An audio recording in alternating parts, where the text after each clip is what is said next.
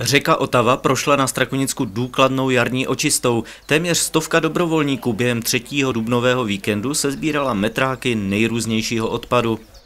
Čistění řeky Otavy připravilo město Strakonice letos již po páté, aby tuto vodní tepnu jeho západních Čech a její nejbližší okolí na svém úseku zbavilo nejviditelnějších odpadků dříve, než začne turistická sezóna. Zájem veřejnosti o tuto akci očekávali organizátoři s napětím, neboť například v loni přišlo pouhých 10 dobrovolníků. Tentokrát však byla situace zcela odlišná. Na ploše pod Strakonickým obchodním střediskem Hvězda se v sobotu 21. dubna ráno schromáždili desítky lidí, které pak autobus rozvezl po jednotlivých úsecích řeky. Společně s hasiči ze Střelských hoštic, kteří se do úklidu rovněž zapojili, to bylo dohromady 86 dospělých a dětí. Zájem účastníků v letošním eh, roce nás eh, velice překvapil.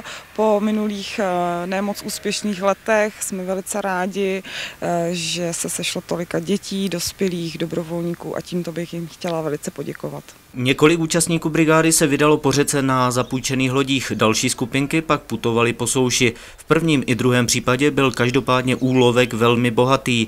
Nejčastěji šlo o plastové láhve a obaly, ale nechyběly ani staré šaty a boty, kusy železa či matrace. Pátračům se podařilo najít Aha. rovněž pneumatiky z traktoru a dětský kočárek. Odpad dávají dobrovolníci do pytlů, který nechávají podél břehu Otavy na cestě, kdy mi potom informují, kde pytle byly nechány a já následně uh, oslovuju technické služby, které hned uh, během týdne odpad svozí.